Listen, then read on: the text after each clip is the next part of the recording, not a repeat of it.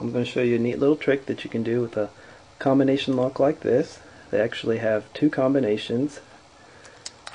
The first combination is the one they give you on the back of the case.